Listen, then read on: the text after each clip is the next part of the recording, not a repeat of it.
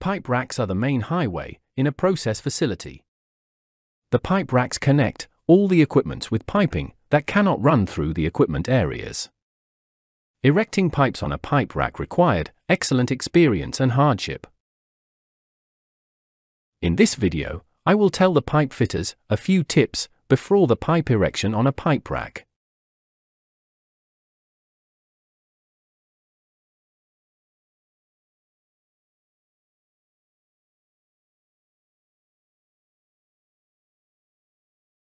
Find the correct northeast orientation location of the pipe rack.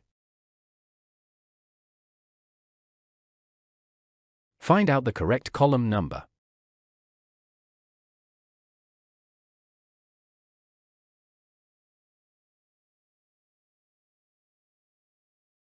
Find on which berth of the pipe rack you are supposed to erect the pipe and make sure the elevation is correct.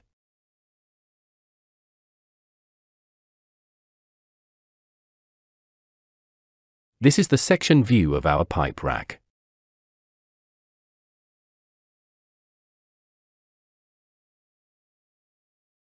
Note down the direction of the arrow marks.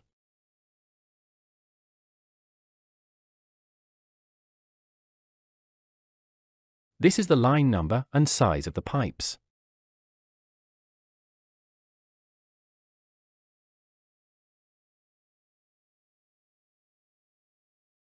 Mark the distance from the column and the pipe center to center distance on the beam.